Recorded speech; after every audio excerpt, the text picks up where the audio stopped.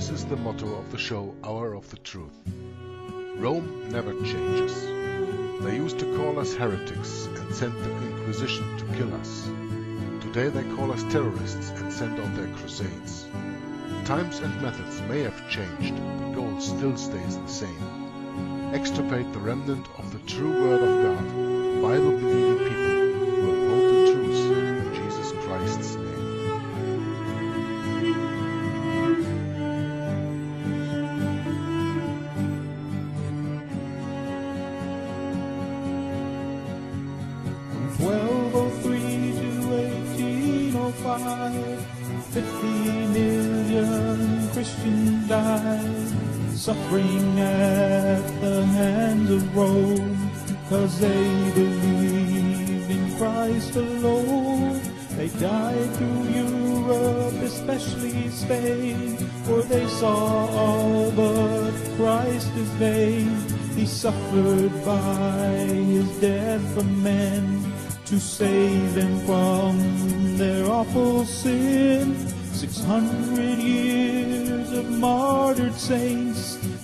history cannot erase. With iron heel and iron hand, the Roman popes rule the land. Those ignorant of history may be swept into apostasy. We won't be loved by Rome's sweet lie with 50 million reasons why. Salvation is by faith alone, in Christ alone, by grace alone. A sovereign God give faith to man. Salvation's in the Maker's hand. This gospel offends Rome today. They offer up another way, a counterfeit, a compromise. Beware the ancient papal lie with such a cloud of witnesses who by grace died in their Lord. Recall their memory to say, by the same faith we live today. Hallo und herzlich willkommen zu einem neuen Video von Joggler66, Stunde der Wahrheit. Heute nehme ich mal ein klassisches äh, Video auf, also in dem Sinne, dass ich erst das Audio aufnehme und danach das Video produziere. Ähm, so werde ich wohl auch die gesamte nächste Buchlesung äh, abfassen, von der dieses Video hier handelt. Ich habe mir nämlich vorgenommen, ein äh, ziemlich monumentales Werk zu lesen auf meinem Kanal, ähm, das geschrieben wurde Ende des 19. Jahrhunderts von Henry Charles Lee. Und zwar heißt das ähm, Der Ursprung und Organisation der Inquisition. Das ist Band 1 des dreibändigen ähm, Werkes Geschichte der Inquisition im Mittelalter. Ähm, den ersten Band, den ich hier in der Hand halte, in Taschenbuchformat, den ich mir gekauft hatte, hat, wenn wir den Anhang mal eben beiseite lassen, äh, über 600 Seiten. Ich glaube, wenn ich mir das hier angucke, 623 oder sowas. Das ist der erste Band und Band 2 und Band 3 sind auch nicht viel kleiner, also über 1800 Seiten wohl die drei Teile zusammen. Das wird eine ganze Zeit lang dauern. Aber das ist mir sehr wichtig und ich möchte auch gerne erklären, warum mir das wichtig ist. Über die Inquisition wurde mir damals in der Schule schon gelehrt und euch wahrscheinlich auch oder einigen von euch zumindest, zumindest den Älteren unter euch. Wie das heute noch gelehrt wird, weiß ich nicht. Das Problem ist nur, als damals in der Schule die Inquisition gelehrt wurde, da ging es darum, um Hexenverfolgung und Zauberer und Ketzer, wie sie das nannten. Das Problem war nur, dass die Schule das erklärt hat aus der Sicht der römisch-katholischen Kirche. Und die römisch-katholische Kirche nimmt ja von sich selbst in Anspruch, dass sie christlich ist. Was wir ja spätestens seit meiner Buchlesung von Babylon nach Rom wissen, nicht der Fall ist. Und wenn man sich dann die Videos anschaut von Herrscher des Bösen und von Alle Wege führen nach Rom, und die verborgene Geschichte der Jesuiten, dann sollte man inzwischen verstanden haben, dass das biblische Christentum mit der römisch-katholischen Kirche überhaupt nichts zu tun hat. Wie das geschichtlich gekommen ist, ist eine andere Sache und das ist ja in den gerade genannten Buchlesungen und sonst wo auch gut genug erklärt. Also da muss ich ja jetzt nicht drauf eingehen. Aber als Kind stellt man sich ja so die Fragen nicht und man akzeptiert die Autorität des Lehrers und die Autorität der Schule und sagt, wenn das so gelehrt wird, ist das halt so. Also die Inquisition hat mir schon immer wehgetan, in dem Sinne, dass ich gar nicht verstehen konnte, wie Menschen so grausam sein konnten, anderen Menschen so etwas anzutun, selbst wenn sie sogenannte Zauberer oder was weiß ich auch wären. Heute, mit dem biblischen Hintergrund, den ich inzwischen gewonnen habe, dank der Gnade Jesu Christi, der mich hat neu geboren werden lassen und in dem ich seitdem lebe, verstehe ich die Inquisition noch auf eine ganz andere Art und Weise, nämlich so, wie es auch wirklich bestimmt ist. Nämlich, dass der Antichrist dafür sorgt, dass die Saat Jesu hier auf dieser Erde ausgerottet werden soll. Ich meine, wir lesen im, äh, in der Genesis im ersten Buch Mose in Kapitel 3, Vers 15, dass der Herr sagt, ich werde Feindschaft sehen zwischen dir oder zwischen deinem Samen und ihrem, äh, und, äh, und ihrem Samen. Ähm, er wird dir den Kopf zertreten und du wirst ihn in die Ferse stechen. Ja, da haben wir erst, den ersten Hinweis auf Jesus Christus. Und äh, seitdem versucht der Teufel hier auf dieser Erde nichts anderes, als eben diese Saat zu vernichten. Diese Saat ist heutzutage die Braut Jesu, die Kirche Jesu.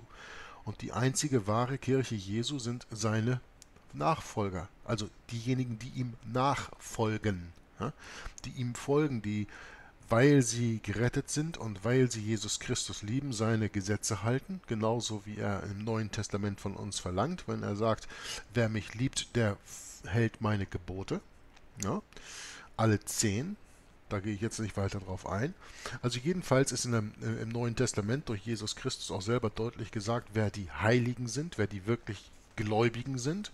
Und es ist im Neuen Testament äh, auch sehr gut beschrieben, hauptsächlich natürlich im Buch der Offenbarung, wer der Verfolger dieser wahren Kirche Christi ist. Und das ist die römisch-katholische Kirche durch die gesamte Geschichte ihrer Existenz. Die römisch-katholische Kirche kam im Laufe des 6. Jahrhunderts an die vollständige Macht und hat diese Macht niemals richtig abgegeben weil wie in Offenbarung 13 es heißt, ich sah eins seiner Häupter, als wäre es tödlich verwundet. Es ist nur eins seiner Häupter und es war nicht tödlich verwundet, ich sah es, als wäre es tödlich verwundet. Es war nicht so. Und die römisch-katholische Kirche hat immer noch die Macht hier auf dieser Erde in den Händen. Warum? Weil Gott es zulässt. Und warum lässt Gott es zu? Weil die Menschen sich von ihm abgekehrt haben. Da könnte man ein ganzes eigenes Video drüber machen oder sogar eine ganze eigene Bibliothek drüber äh, machen als, als, an Videos, eine ganze eigene Abspielliste. Da will ich jetzt gar nicht drauf eingehen. Ich möchte hier nicht so weit vom Thema weg. Ähm, die Geschichte der Inquisition finde ich deswegen wichtig, weil ich an eigenem Leibe erfahren habe, wie einem das in der Schule gelehrt wird und auf die Art und Weise, wie es in der Schule gelehrt wird, wird ein falsches Wissen mitgegeben dass oftmals die Leute denken, die Inquisition war eine tatsächlich gute Sache. Wobei niemand, der ein bibelgläubiger Christ ist, jemals davon ausgehen könnte, dass die Inquisition tatsächlich eine gute Sache ist, weil Christus, der Herr der Bibel, zwingt niemanden zu seinem Glauben. Und die römisch-katholische Kirche sagt, konvertiere oder stirb. Haben wir ja schon öfter gelesen. Erinnert euch nur noch mal in den Lesungen von äh, Die verborgene Geschichte der Jesuiten. Da kam es ja öfter drin vor. Ja? Jesus Christus sagt, äh, verletze keinen Menschen. Die römisch-katholische Kirche gebraucht dafür ihre geistigen Vorbehalte und tut es trotzdem.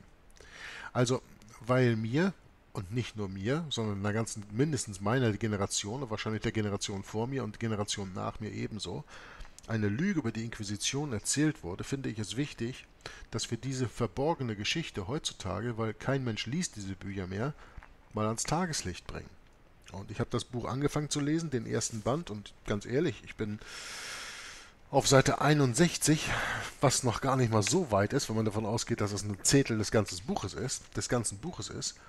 Aber davor gibt es auch noch eine über 20 Seiten Einleitung und da will ich heute anfangen, das zu lesen. Und ich weiß, das ist alles ein bisschen trocken. Äh, also zumindest am Anfang. Das Buch selber ist unglaublich, also das, das liest sich wie das liest sich wie Öl. Das, das ist unglaublich. Das geht so weg. Da, wenn man einmal anfängt, darin zu schmökern in dem Buch, dann kann man eigentlich gar nicht mehr aufhören. Aber ich möchte die Gelegenheit ergreifen und möchte euch erstmal zu diesem Buch etwas vorstellen. Ähm, erstens mal geht es mir darum, wir werden ja in diesem Buch lesen, dass es geht um die Verfolgung der sogenannten Ketzer. Dazu müssten wir erstmal feststellen, was eigentlich Ketzer sind. Ja? Und äh, ich habe hier eine Definition aus dem Buch äh, Die Geschichte der Inquisition, das ich auf meinem zweiten Kanal ja lese in Englisch. History of the Inquisition von äh, Philipp van Limborch.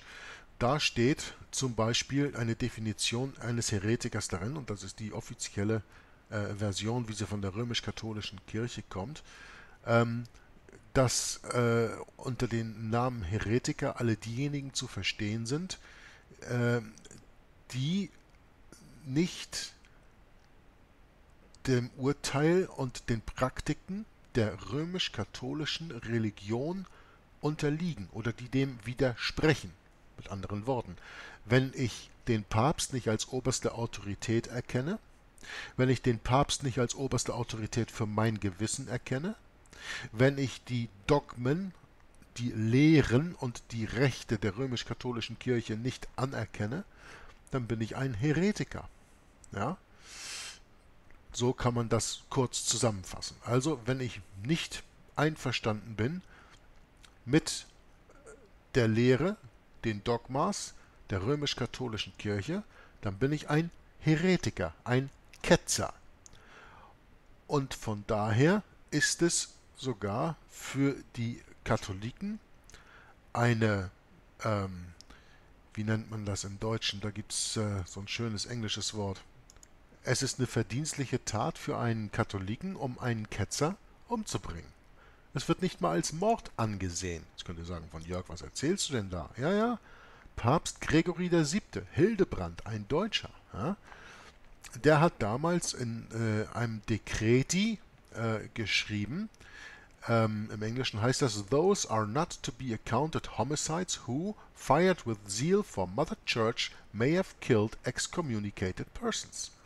Also diejenigen sind nicht als Mörder anzusehen, welche aufgrund des Eifers der Mutterkirche eventuell Menschen umgebracht haben, die exkommuniziert waren.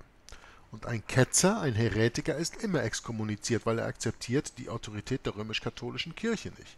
Und es gibt viele Beispiele von Menschen, sowohl hochstehende Politiker, Könige und so weiter, als auch normale Menschen oder Mönche, wie zum Beispiel Martin Luther, durch die Geschichte hin, die von der römisch-katholischen Kirche exkommuniziert wurden und damit im Grunde als vogelfrei erklärt wurden. Einem bibelgläubigen Christen ist es wurscht, ob er exkommuniziert ist oder nicht, weil wir wissen sowieso, dass innerhalb der römisch-katholischen Kirche keine Erlösung zu finden ist, aber die betrogenen Katholiken glauben das und deswegen ist es für sie also ein, wie es so schön im Deutschen heißt, eine verdienstliche, eine lobenswerte Tat, um einen Heretiker umzubringen. Und das ist natürlich auch gleichzeitig die Entschuldigung für die ganzen Menschen der Inquisitoren, der, der, der, für die ganzen Inquisitoren durch die Jahrhunderte hin, die die ganzen unschuldigen bibelgläubigen Christen umgebracht haben, weil für sie war es halt eine löbliche, verdienstliche Arbeit, diese Inquisition zu tun. Wie es in der Bibel bereits geschrieben steht, sie werden euch verfolgen und sie werden euch umbringen und sie werden denken, dass sie, dass sie Gottes Werk tun. Genau so ist das. Nun, ähm, auf die Ketzer noch mal ganz kurz eingegangen. Ich habe damals in Herrscher des Bösen eine Zusammenfassung äh, von dem Directorium Inquisitorium euch äh, vorgelesen. Da steht ganz deutlich drin, derjenige ist ein Ketzer, der nicht daran glaubt, was die römische Hierarchie lehrt. Ein Ketzer verdient den Schmerz des Feuers des Evangeliums, der Kanons, des bürgerlichen Gesetzes und der Sitten. Ketzer müssen verbrannt werden. Für den Verdacht der Ketzerei allein ist diese Reinigung gefordert. Magistrate, die sich weigern, den Schwur der Verteidigung des Glaubens anzunehmen, sollen der Ketzerei selbst verdächtigt werden. Sogar Kriege können durch die Autorität der Kirche begonnen werden und so weiter und so weiter. Ich lese es jetzt nicht mehr vor, schaut euch nochmal meine Lesung von Herrscher des Bösen an und da kommt das Directorium Inquisitorum drin vor. Ähm, das ist äh, in einem Teil der Lesung, ich müsste jetzt mal eben schauen, wo das hier genau ist, in welchem Teil der Lesung, das ist noch nicht, glaube ich, so weit weg. Es kommt hier vor in Kapitel 23 oder sowas, ja, das ist ziemlich zum Ende, ne? Also da kommt das Direktorium Inquisitorium vor. Schaut euch das nochmal an, wenn ihr da Fragen über habt. Was ich jetzt gerade eben erwähnt habe, finde ich bereits mehr als genug. Nun möchte ich erst, äh, bevor ich jetzt mit dem Buch überhaupt anfange oder zu dem Buch selber etwas erzähle, möchte ich euch eben mal sagen, wer Henry Charles Lee war. Ich spreche es Lee aus, sein Name schreibt sich L-E-A, also Lea oder wie auch immer, aber ich spreche es halt englisch Lee aus. Henry Charles Lear wurde geboren am 19. September 1825 in den Vereinigten Staaten von Amerika in Philadelphia und er starb am 24. Oktober 1909 ebenfalls in Philadelphia. Und er war ein US-amerikanischer Historiker. Leas Großvater mütterlicherseits war der bekannte katholische Publizist und Verleger Matthew Carey, der lebte zwischen 1760 und 1839.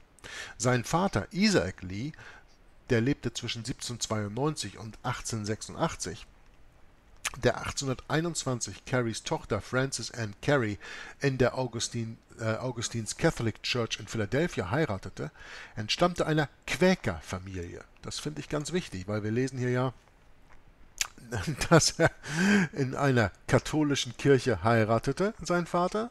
Wir lesen, dass sein Großvater ein, äh, ein Katholik war, ein katholischer Publizist. Aber die Frau hier, die Mutter, äh, Frances Ann Carey, äh, entstammte einer Quäkerfamilie. Was sind denn Quäker? Ja, darüber sollte man sich vielleicht mal informieren und ich kann euch nur den Tipp geben, nehmt euch nicht Wikipedia als Ratgeber, um zu lernen, was die Quäker sind. Die Quäker sind noch extremer als die sogenannten Puritaner.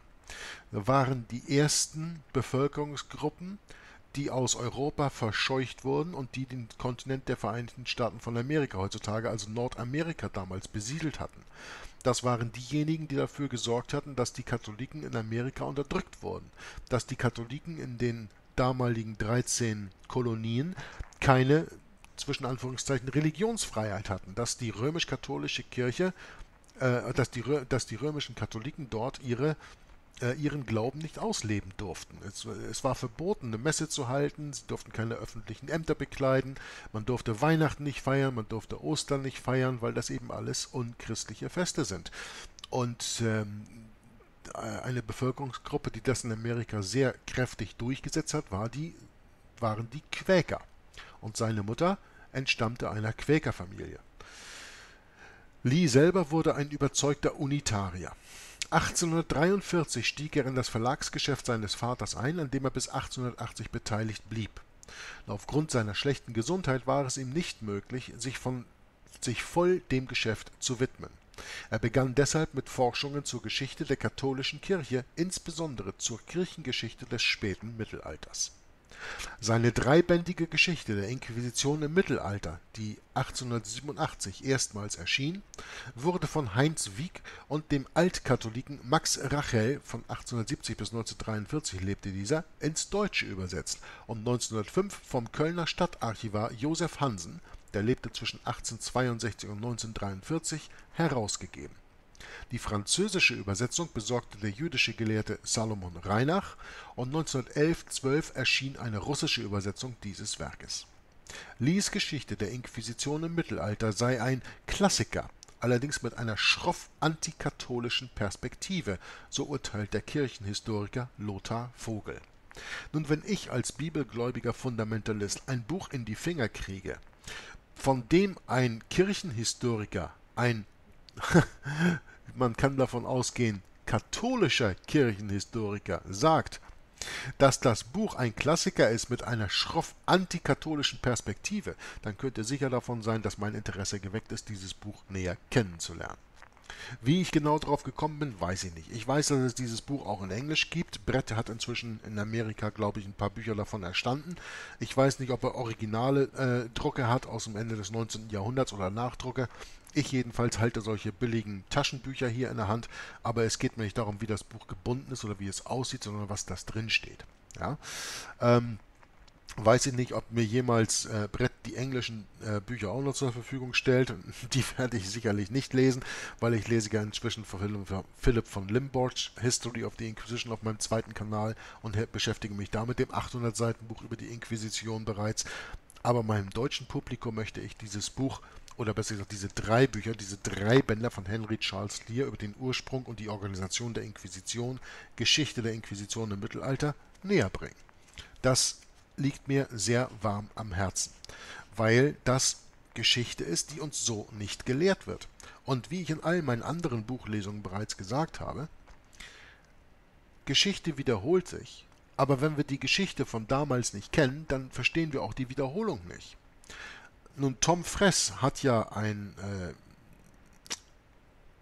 nennt seine Sendung äh, Inquisition Update, und er macht das eben, um die Leute in den Vereinigten Staaten von Amerika davon zu informieren, dass auf Amerika eine Inquisitionswelle zurollt und das schon seit langem. Und das ist in Europa auch nicht viel anders. Wir leben hier ja im wiederauferstandenen römischen äh, heiligen römischen Reich, ähm, jetzt nicht mehr der deutschen Nation, wie es damals war, aber wir leben in dem sogenannten, zwischen Anführungsstrichen, heiligen römischen Reich, der EU.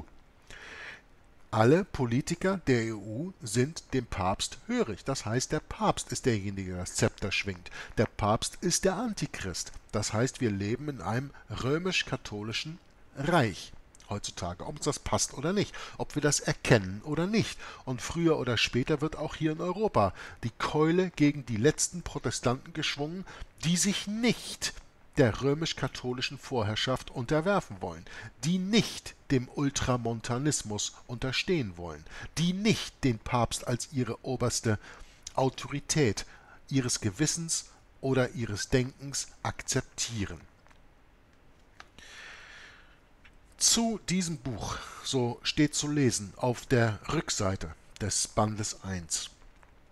Der amerikanische Gelehrte Henry Charles Lear, der lebte zwischen 1825 und 1909, gehört zu den Klassikern unorthodoxer Kirchengeschichtsschreibung.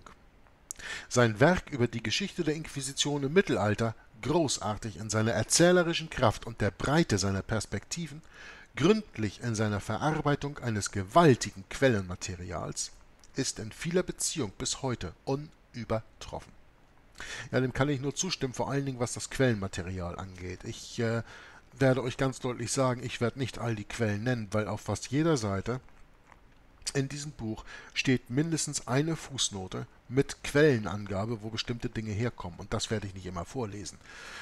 Ihr könnt davon ausgehen, dass ich, und ich habe schon einige Bücher gelesen, außer vielleicht von Babylon nach Rom, das auch sehr gut dokumentiert war, aber dass ich noch kein Buch in der Hand hatte, das so gut dokumentiert ist, das so gut seine Quellen wiedergibt, wo diese ganzen Dinge stehen. Sind das päpstliche Enzyklien, sind das päpstliche Bullen, sind das andere Veröffentlichungen der römisch-katholischen Kirche, sind das andere Historiker, die Sachen geschrieben haben.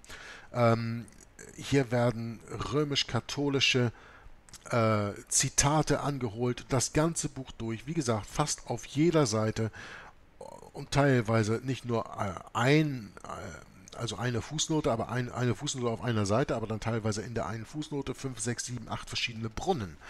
Das Buch ist unglaublich basiert auf wirklichen nachforschbaren Quellen. Ich nenne sie nicht jedes Mal, aber da könnt ihr von ausgehen. Und auch deswegen schreibt hier von hinten, schreibt hinten drauf derjenige, der das hier geschrieben hat, dass das Buch in, auch in dieser Beziehung bis heute unübertroffen ist.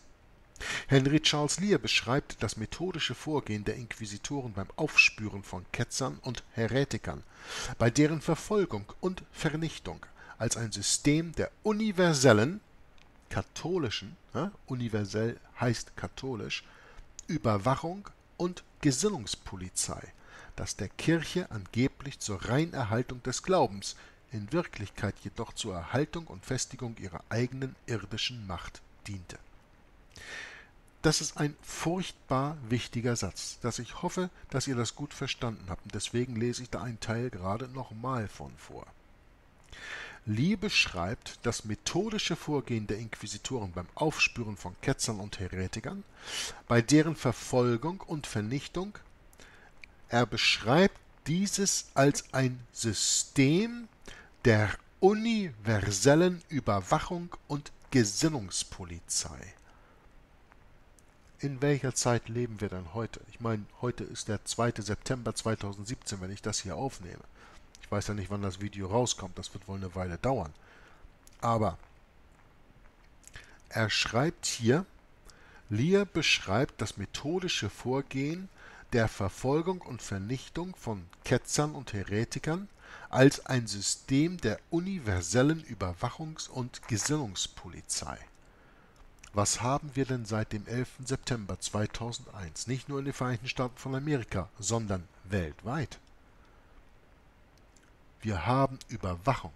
Schaut euch doch nur mal an, wo überall die Kameras hängen heutzutage.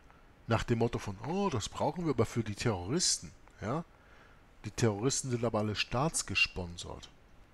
Also da will ich jetzt auch gar nicht mal irgendwie drauf eingehen. Man sollte sich, wenn man solche Sätze hört, wie das, was ich gerade vorgelesen habe, mal wirklich probieren, sich in unserer heutigen Welt nochmal umzuschauen und zu sehen, dass tatsächlich die römisch-katholische Kirche, weil es geht hier um die Inquisitoren, die Inquisitoren waren alle römisch-katholisch, da beißt die Maus keinen Faden ab dass die ein System zur Verfolgung und Vernichtung aufgesetzt haben, das der universellen Überwachung einer Gesinnungspolizei entspricht.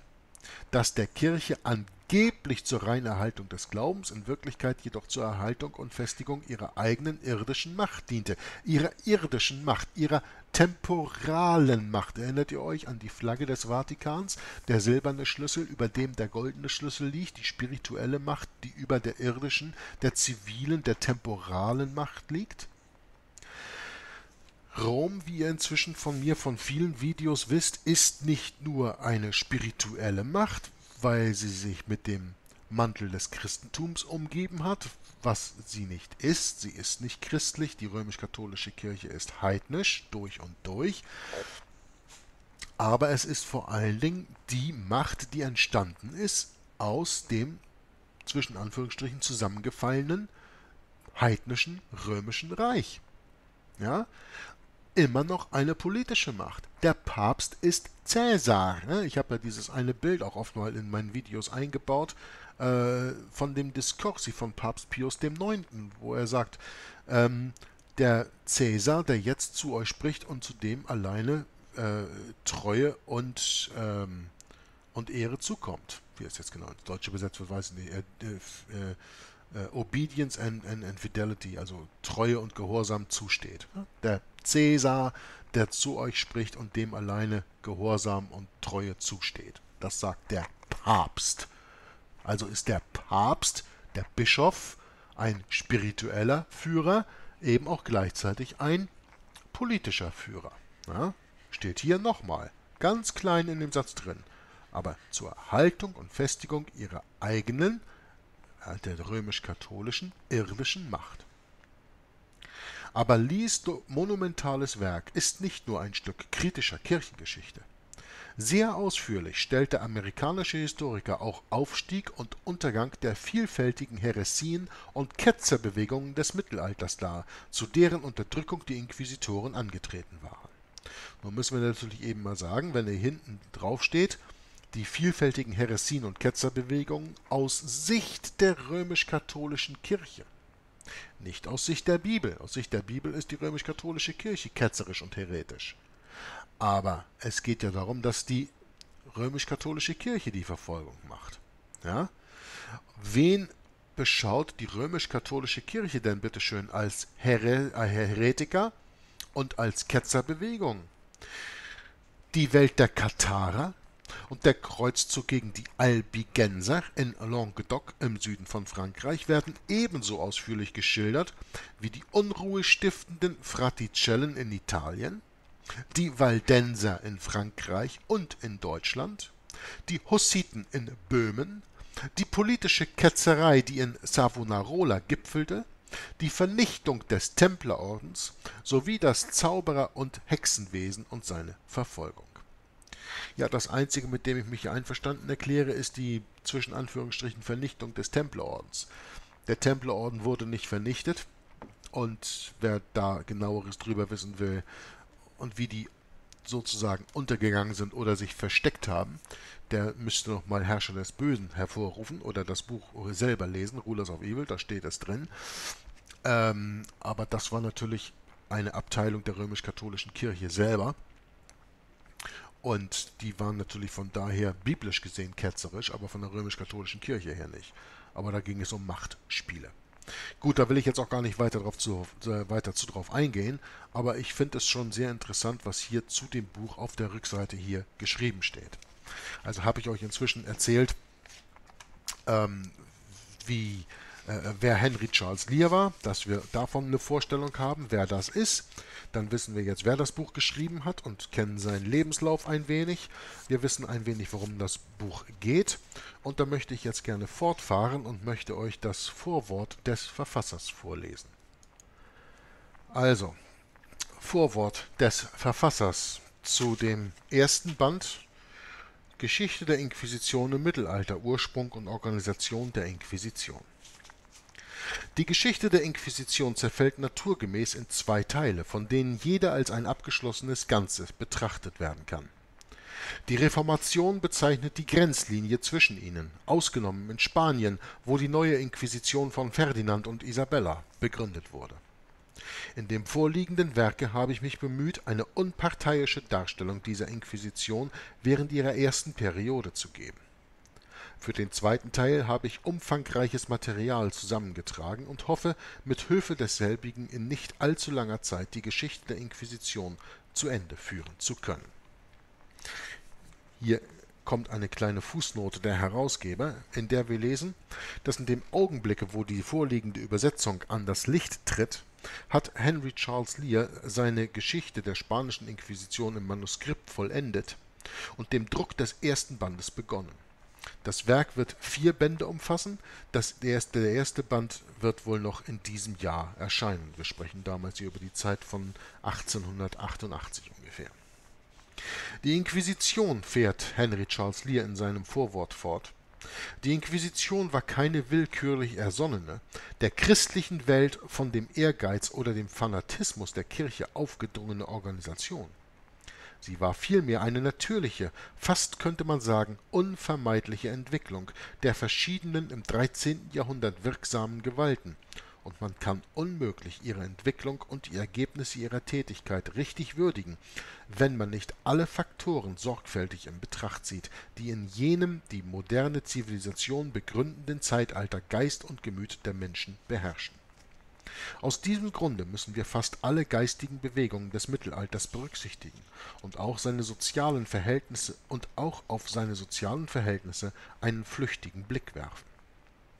Bei dem Beginne meiner geschichtlichen Studien überzeuge ich mich bald überzeugte ich mich bald, dass die sicherste Grundlage für die Erforschung eines gewissen Zeitabschnitts in der Prüfung seiner Rechtsverhältnisse besteht, da sie ein unverhülltes Bild von den Bestrebungen dieser Periode und von den Mitteln geben, die man für die geeignetesten zur Verwirklichung dieser Bestrebungen ansah Daher habe ich der Darstellung des Ursprungs der Entwicklung des Inquisitionsverfahrens einen großen Raum gewidmet, denn ich habe die Überzeugung, dass wir nur auf diese Weise die Tätigkeit des Heiligen Offiziums und seinen Einfluss auf die späteren Generationen recht verstehen können. Es scheint mir, als ob die so gewonnenen Resultate viele bis dahin entweder missverstandene oder nur unvollkommen gewürdigte Punkte aufklären könnten wenn ich hierbei gelegentlich zu Schlüssen gekommen bin, die von den gangbaren abweichen, so bitte ich den Leser zu glauben, dass die aufgestellten Ansichten nicht flüchtig gebildet sind, sondern das Ergebnis einer gewissenhaften Prüfung aller mir im Originale zugänglichen Quellen darbieten.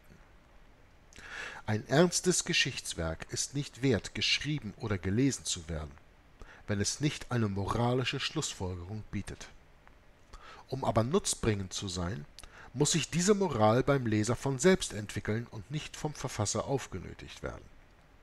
Das gilt ganz besonders bei der Darstellung eines Gegenstandes, der, wie die Inquisition, die wildesten Leidenschaften der Menschen aufwühlt und ihre höchsten und niedrigsten Triebe abwechselnd aufgestachelt hat. Ich habe mich nicht damit aufgehalten, moralische Betrachtungen anzustellen, aber der Zweck meines Werkes ist verfehlt, wenn ich die Ereignisse nicht so dargestellt und erzählt habe, dass man daraus die eigenen Lehren ziehen kann.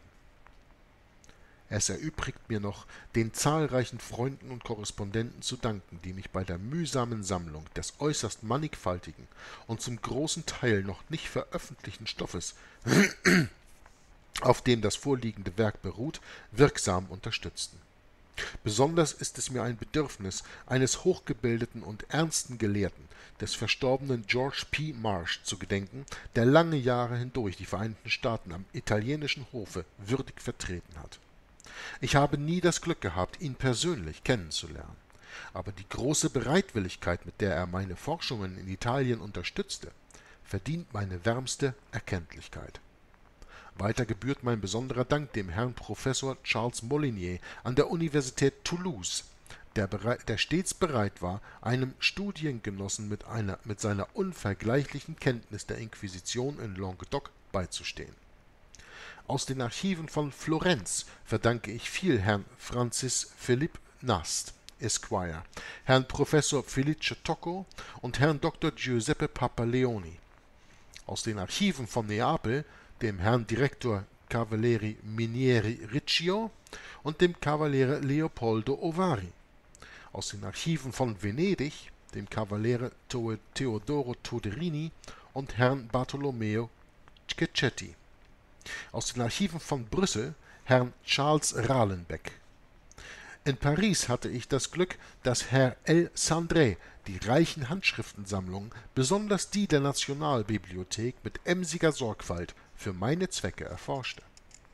Für einen Arbeiter wie ich, äh, für einen Arbeiter, der, wie ich, tausend Seemeilen von den großen Bibliotheken der alten Welt in den Vereinigten Staaten entfernt ist, wird eine derartige Hilfe zur Notwendigkeit, und ich schätze mich glücklich, die Mitwirkung von Männern gefunden zu haben, die mir über manche Hindernisse der Zeit und des Raumes hinweghelfen konnten. Sollte der übrige Teil meiner Aufgabe später vollendet werden, so hoffe ich Gelegenheit zu haben, auch noch vielen anderen Männern auf beiden Hemisphären, die mir unveröffentlichte Materialien zur späteren Geschichte des heiligen Offiziums vermittelt haben, meinen Dank abstatten zu können. Philadelphia, August 1887. Der Verfasser Henry Charles Lear.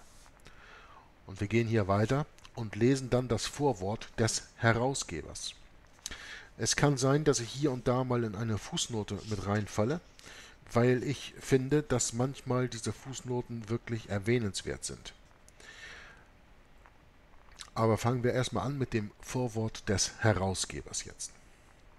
Die Bedeutung der zuerst im Jahre 1888 zu New York und im Jahre 1900 in einer neuen Titelausgabe zu New York und London erschienenen History of the Inquisition of the Middle Ages, also Geschichte der Inquisition der Mittelalter, von Henry Charles Lear im Rahmen der allgemeinen Geschichtsschreibung der Inquisition hat der verdiente Forscher auf dem Gebiete der niederländischen Inquisitionsgeschichte Professor Dr. Paul Frederic in Gent in Belgien in der unten auf Seite 23 fortfolgende, äh, 13 fortfolgende gedruckten Studie gekennzeichnet so, da geht es hier in einer Fußnote weiter. Diese Studie hat ihr Verfasser im Jahre 1900 unter dem Titel L'Histographie de l'Inquisition, also die Histographie der Inquisition, der französischen Übersetzung des, Lie, des Lieschen Werkes vorausgeschickt, welche in den Jahren 1900 bis 1902 durch Salomon Reinach in Paris veranstaltet worden ist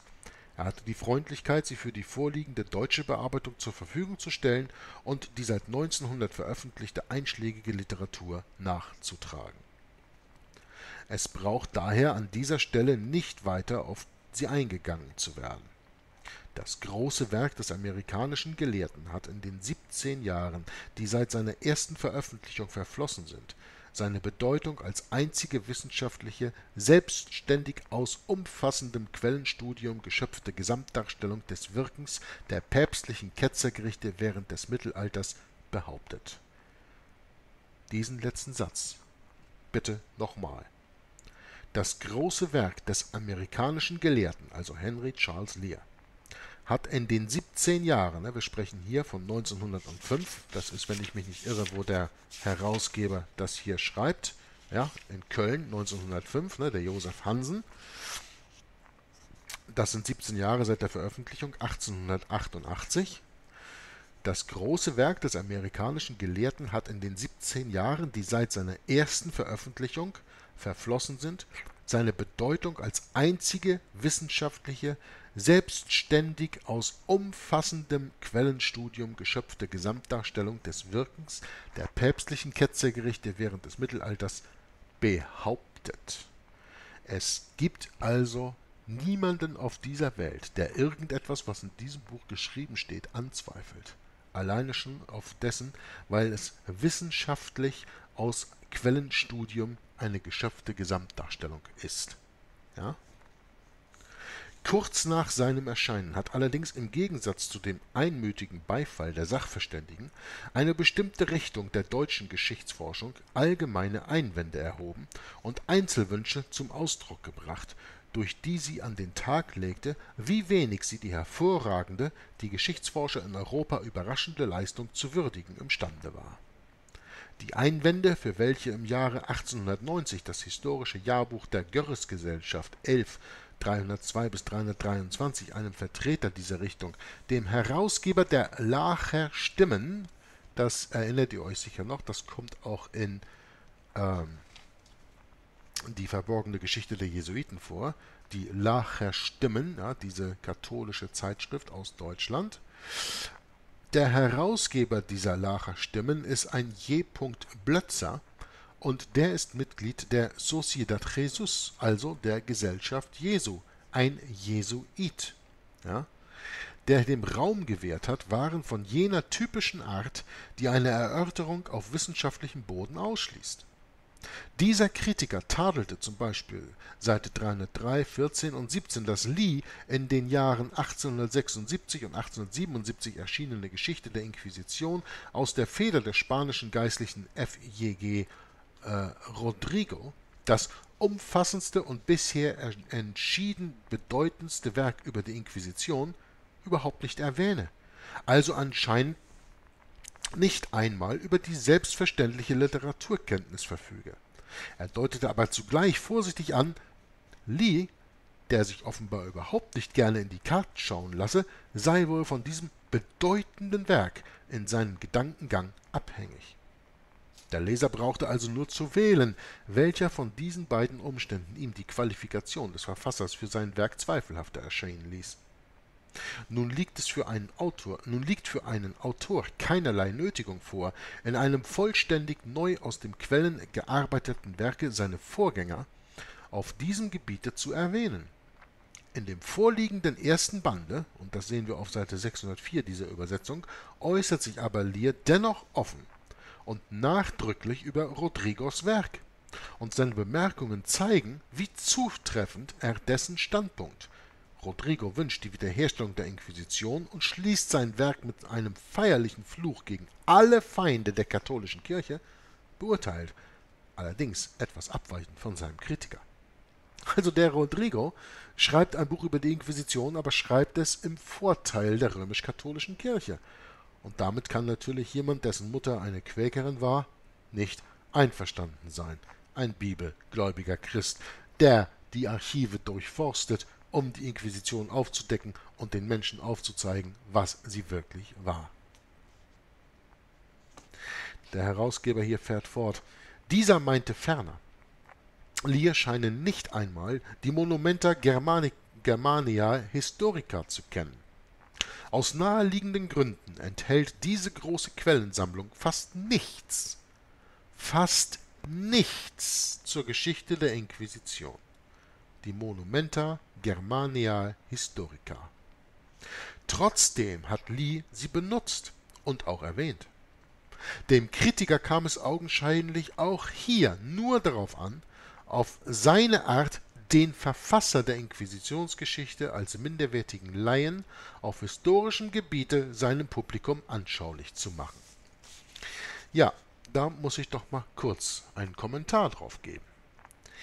Es ist so, dass wenn Leuten, denen die Wahrheit nicht gefällt, wenn sie denen unter die Nase gehalten wird, dann greifen sie die Wahrheit nicht an, weil das können sie nicht, da haben sie keine Argumente für.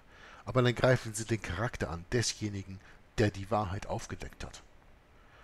Diese Verleumdung des Charakters ist im Internet unglaublich populär und befindet sich auch auf meinem Kanal. Wenn die Leute keine Argumente haben, gegen die Fakten, gegen die ich spreche, irgendwas einzubringen, dann greifen sie meinen Charakter an. Aber das stört mich nicht. Nur diejenigen, die die Dinge verfolgen, die ich lese, sollten sich davon bewusst sein, dass, wenn man die Wahrheit spricht, man ständig angefallen wird. Und auch Henry Charles Lear und seinem Werk ist es nicht anders gegangen. Man konnte aber an seinem Werk nichts finden, weil es so verdammt gut dokumentiert war, also greift man die Person an. Deswegen muss man immer vorsichtig sein, wenn man über solche Leute wie Henry Charles Lear was im Internet raussucht und dann sicher solche Quellen wie Wikipedia oder sowas sich anschaut. Fahren wir fort. Seltsamer oder konsequenterweise glaubte er sich selbst dann aber seit äh, glaubte er sich selbst dann aber seit 311 Lee gegenüber als Wahrer des wissenschaftlichen Anstandes einführen zu dürfen. Weiter meinte dieser Kritiker im Allgemeinen auf Seite 318, ein Nicht-Katholik werde, selbst wenn er den besten Willen hätte und sich unsägliche Mühe gäbe, kaum imstande sein, die Inquisition richtig zu beurteilen. Es erschien ihm ferner keinen Augenblick zweifelhaft, dass seine Geschichte der Inquisition, geschrieben von einem tüchtigen Kenner der römischen Archive, in fast allen Beziehungen ganz anders aussehen würde als die liische. Und er schloss mit der beweglichen Klage, Zitat, eine Geschichte der Inquisition, die den bescheidensten Anforderungen ruhiger, objektiver Geschichtsforschung entspricht, ist leider auch jetzt noch nicht geschrieben. Ende Zitat. Wobei er anscheinend vergaß, was er kurz vorher über Rodrigos Buch geurteilt hatte. Inkonsistenz nenne ich das in der Argumentation. Für den Kenner dieser Richtung ist es aber nicht verwunderlich, dass von ihr aus trotz, Anspruchs, trotz solcher anspruchsvollen Auf Auslassungen in der langen Zwischenzeit kein Schritt geschehen ist um auch nur den Versuch zu wagen, etwas Vollkommeneres an die Stelle von Lees Buch, etwa aufgrund der römischen Archive zu setzen. Es ist gewiss begreiflich, dass man auf dieser Seite einer zusammenhängenden Betrachtung des Wirkens der römischen Kirche auf einem so bedenklichen Gebiet am liebsten aus dem Wege geht und es trotz der Behauptung, man sei selbst allein imstande und berufen, dieses Wirken darzustellen, dennoch vorzieht, mit Hilfe der seit mehreren Jahrzehnten erschlossenen römischen Quellen für das Mittelalter die Tätigkeit der Kirche auf einem anderen Gebiet, dem der materiellen Kultur, ins Auge zu fassen, wo sie sich in der Tat wenig weniger zweifelhafte Verdienste erworben hat. Solange jedoch die Entwicklung der römischen Kirche zum größten Finanz- und Verwaltungsinstitut des Mittelalters noch nicht als ihre eigentliche Aufgabe angesehen, in ihrer wirtschaftlichen Tätigkeit vielmehr eine mehr zufällige Nebenfrucht ihrer universellen Wirksamkeit erkannt, ihre Hauptaufgabe aber auf dem Gebiet religiöser, geistig-sittlicher Kultur erblickt wird, wird man doch wohl zugeben müssen, dass hier bloße Andeutungen dessen, was man beweisen zu könne, vermeint und die Beschränkung auf eine negative Kritik der von der Gegenseite unternommene Versuche nicht ausreichen. Nur durch eigene positive und stichhaltige Leistungen könnte der Boden für eine objektive Auseinandersetzung über die so verschieden beurteilte Inquisition geebnet werden, nicht durch die Verweisung einer solchen Kulturerscheinung unter den einseitig konfessionellen Gesichtswinkel und die theoretische Inanspruchnahme eines ausschließlichen Berufs oder Vorrechts für ihre Darstellung, ebenso wenig aber durch eine bequeme und daher beliebte Detailpolemik oder durch das seiner, seiner größeren Bequemlichkeit wegen noch beliebtere völlig, völlige Verschweigen gegnerischer Leistungen. Soweit sich der Kreis der auf dem Gebiet der Inquisitionsgeschichte tätigen Forscher übersehen lässt, ist aber überhaupt nicht zu erwarten, dass schon in der nächsten Zeit ein neuer Versuch einer Gesamtdarstellung unternommen wird. Und das entspricht in der Tat auch dem Bedürfnis der Wissenschaft. Es ist nötig, dass jetzt, nach dem Erscheinen von Lees monumentalem Werk, haltet den Gedanken, 1888, also vor knapp 130 Jahren, zunächst durch fortgesetzte Einzelarbeit, durch weitere Sammlung und Sichtung der so sehr zerstreuten und durch absichtliche und planmäßige Vernichtung so außerordentlich gelichteten Quellen unsere Kenntnis erweitert und der Fluss der Entwicklung lückenloser als bisher aufgedeckt werde. Es ist die nächste Aufgabe der Forschung, die Inquisition in den einzelnen Ländern systematisch zu untersuchen und ihre Geschichte tiefer zu fundamentieren die Ausführungen unten auf Seite 27 fortfolgende unterrichten über das, was augenblicklich im Auslande und in Deutschland nach dieser Richtung geschieht und geplant wird. Später mag dann eine neue zusammenfassende Darstellung eine über die jetzige Kenntnis hinausreichende Vorstellung sowohl von dem Umfang und der Ausbreitung der dem katholischen Dogma widerstrebenden geistigen Strömungen des Mittelalters als auch von dem Erfolge vermitteln, den die von der päpstlichen Kurie zur Vernichtung dieser religiösen Emanzipationsbewegung unternommenen Schritte erzielt haben. Das große Werk Lears hat in Deutschland seither einen verhältnismäßig kleinen Leserkreis gefunden seine Abfassung in englischer Sprache und der für deutsche Verhältnisse teure Preis der Originalausgabe haben seiner Verbreitung im Wege gestanden. Es ist das umso bedauerlicher, als es, wie bemerkt, den einzigen brauchbaren Überblick über das nur in einer Internationalität richtig zu würdigende Institut der Institution bietet als ich mich im Frühjahr 1901 mit dem Verfasser in Verbindung setzte, um über die Veranstaltung einer deutschen Ausgabe seines Werkes mit ihm zu verhandeln, bildete naturgemäß die Frage, ob Lear selbst noch eine verbesserte Ausgabe seines Werkes zu bearbeiten beabsichtigte, welche die seit 1887 erschienene Literatur systematisch verwehr verwehrte und dann zugleich als Grundlage für die deutsche Übersetzung dienen könne, einen Gegenstand unserer Erörterung eine solche Ausgabe ist von Lear leider nicht zu erwarten. Andere große Aufgaben Der jetzt 80-jährige Gelehrte hat seit dem Jahre 1888 seine, großen, seine große dreibändige History of Auricular Confession and Indulgences in the Latin Church in Philadelphia 1896 veröffentlicht. Das heißt, die Geschichte der Ohrenbeichte und der äh, Indulgences, das sind also die äh, wie nennt man das im Deutschen wieder? Ne, Indulgence ist der, ist der Ablass, ne? also die Geschichte der Ohrenbeichte und des Ablasses in der lateinischen Kirche, veröffentlicht also 1896. Das hatte er bis jetzt veröffentlicht. Er war damals mit dem Druck seines inzwischen erschienenen Werkes uh, The Moriscos of Spain, Their Conversion and Expulsion, also die Moriscos von Spanien, ähm, ihre Konversion und äh, ihre äh, Expulsion, also Ausweisung, äh, erschienen 1901 in Philadelphia und mit der Vorbereitung seiner vierbändigen, in diesem Augenblicke im Manuskript gleichfalls vollendeten History of the Inquisition of Spain, also die Geschichte der spanischen Inquisition, beschäftigt. Und diese ganzen vorgenannten Arbeiten haben seine Kraft völlig in Anspruch genommen. Ähm, in einer Fußnote wird hier von dem Herausgeber noch darauf hingewiesen, dass er sagt, es sei an dieser Stelle auch nach der übrigen kirchengeschichtlichen, äh, äh auch der übrigen kirchlich-geschichtlichen Werke von Lear wenigstens bedacht. Chapters from the Religious History of Spain connected with the Inquisition, Superstition and Force, Essays of the Wager und so weiter und so weiter werden hier also noch andere englischsprachige Werke des Autors äh, genannt in dem Zusammenhang. Ja.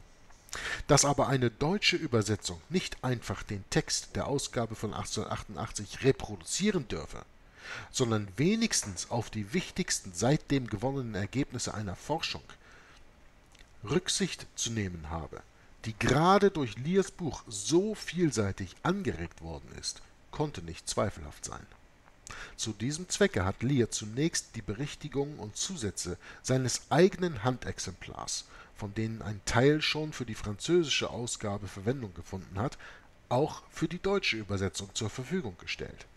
Er hat sich ferner damit einverstanden erklärt, dass auch weitere erforderlich erscheinende Ergänzungen eingefügt werden.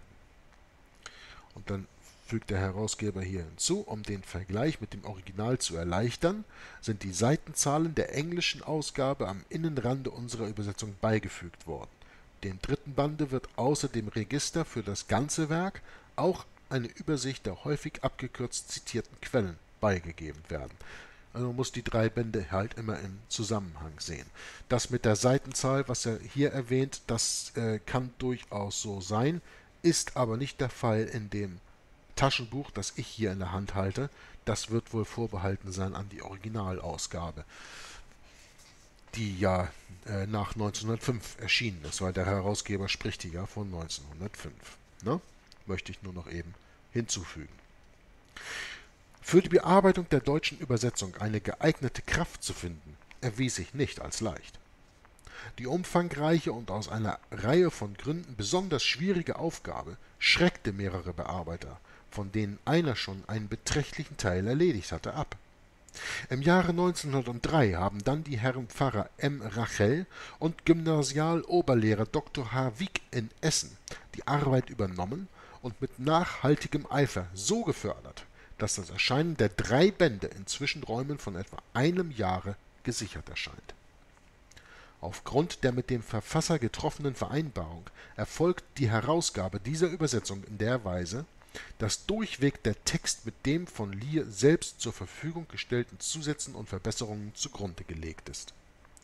Ohne äußere Kennzeichnung sind dann durch den Unterzeichneten eine Anzahl kleinerer offenbarer Versehen korrigiert und da, wo neuere Quelleneditionen zu berücksichtigen waren, die in den Anmerkungen enthaltenen Hinweise Lears auf handschriftliche Quellen durch solche auf die inzwischen gedruckten Werke ersetzt worden.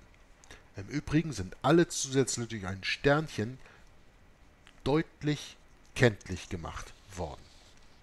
Die Zusätze werden im zweiten und dritten Bande zahlreicher sein als in dem vorliegenden ersten Bande es handelt sich in den späteren Bänden, welche die Einführung und die Wirksamkeit der Inquisition in den verschiedenen Staaten Europas zum Gegenstande haben, um die Darstellung einzelner Vorgänge und Erscheinungen, deren Kenntnis vielfach nicht nur aus der neueren Literatur, sondern auch aus dem archivalischen Material, Material erweitert, also gelegentlich auch berichtigt werden kann, das sich im Laufe längerer Jahre zum großen Teil in den römischen Archiven gesammelt habe in dem vorliegenden ersten Bande, der die Entstehung der Organisation der Inquisition zum Gegenstande hat, waren Ergänzungen weniger erforderlich und zudem nicht unbedenklich, weil sie leicht den Gedankengang des Verfassers stören und den Charakter seiner Darstellung verletzen könnten, die natürlich streng gewahrt werden mussten.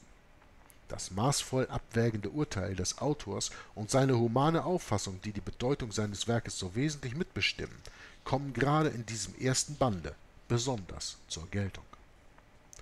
Die Forschungsmethode und die Darstellungsweise Leas bringen es mit sich mit, dass sein Werk sowohl eine breite, die allgemeinen Kulturfragen vorsichtig würdigende Grundlegung als auch eine tief in die Einzelerscheinungen eindringende und ihren Verlauf anschaulich schildernde Darstellung bietet er hat dabei auch solche mittelbare und unmittelbare Wirkungen ins Auge gefasst, die sonst vielfach übersehen oder weniger beachtet worden sind. Neben der Entwirrung der verschlungenen Kräfte, deren Zusammenwirken in dem Augenblicke, wo die mittelalterliche Kirche die Fülle ihrer Macht über die seit Jahrhunderten von ihr geleitete abendländische Menschheit erreichte, eine dem Geist des Christentums so schroff widerstreitende Einrichtung aus ihr hervortrieb, gehört die Aufdeckung solcher sozialen und moralischen Wirkungen wie die Darlegung des inneren Zusammenhangs zwischen, den, zwischen der fortgesetzten erbarmungslosen Ketzerverfolgung und der allgemeinen Verrohung der abendländischen Kultur, die in dem letzten Jahrhundert des Mittelalters ihren Höhepunkt erreichte, um dann aus ihrem Übermaß das langsam wirkende Heilmittel, die Vorstellung eines neuen Humanitätsideals zu entwickeln, zu den lehrreichsten Partien des Lierschen Werks. Dass gerade in diesen wichtigen Kulturfragen die vorliegende Übersetzung dazu beitragen möchte, klarere Vorstellungen auch in unserem Vaterlande Deutschland zu verbreiten, ist der einmütige Wunsch aller, die sich um ihr Erscheinen bemüht haben. Köln im Juni 1905. Josef Hansen, der Herausgeber des Buches des ersten Bandes Die Geschichte der Inquisition im Mittelalter von Henry Charles Lear, geschrieben 1888. Übersetzt von Heinz Wieck und Max Rachel aus dem Englischen. Hiermit möchte ich das erste Video nach einer knappen Stunde abschließen. Wir werden dann im nächsten Mal fortfahren mit der Einleitung Die Inquisition und die Geschichtsforschung. Da geht es noch nicht um das eigentliche Buch des Autors. Hier geht es um eine sehr interessante Einleitung auf den Seiten äh, wo ist denn das hier? Auf den Seiten, ja, fängt hier gar nicht mit einer Seitenzählung an. Geht bis Seite 30 und hier ist Seite 14, also knapp 15, 15 Seiten lang. Eine Einleitung aus, äh, geschrieben in Gent in Belgien von Paul Frederick, den wir ja vorher bereits erwähnt hatten, von 1905, der sich hier beschäftigt mit der die Inquisition und die Geschichtsforschung. Und das ist natürlich ein wenig zwischen Anführungsstrichen sage ich jetzt mal trocken. Ich persönlich finde das nicht so.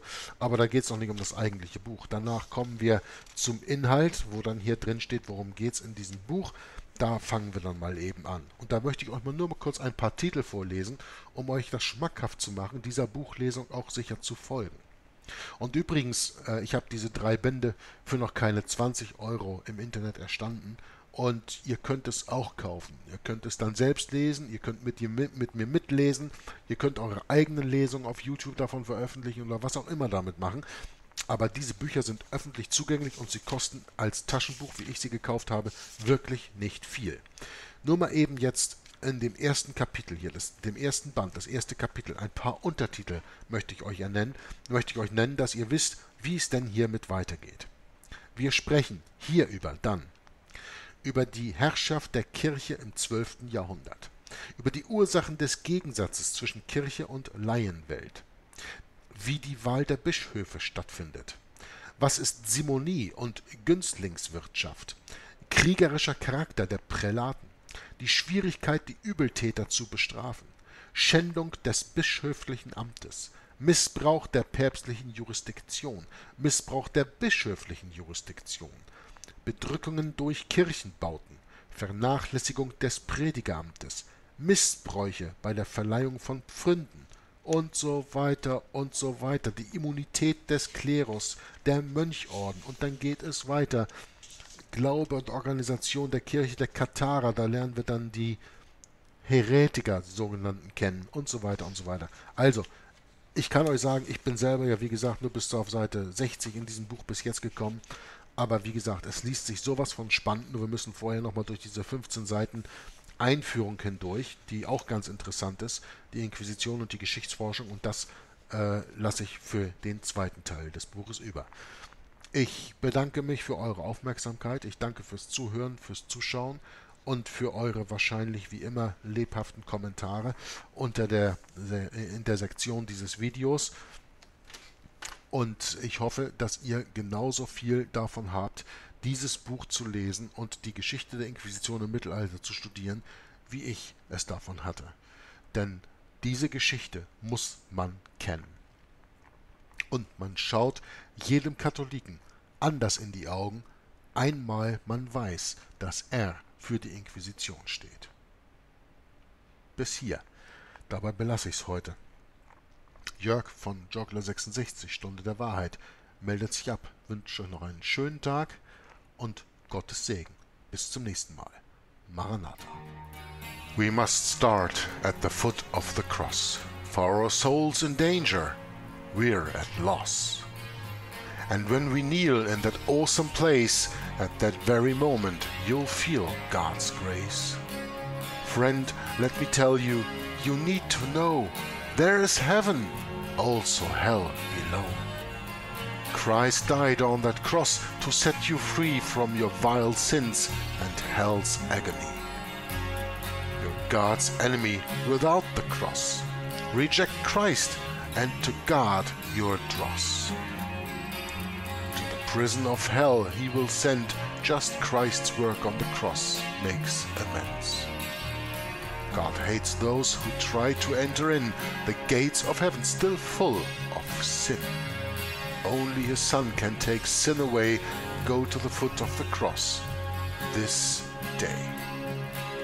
God has provided only one way to enter heaven's wondrous array. Except what Jesus did for us all. He paid our debt, so hell won't befall. Go to the foot of the cross this day. His precious blood washes sin away. We each need to think more of his cross. Without our Savior, we're total loss.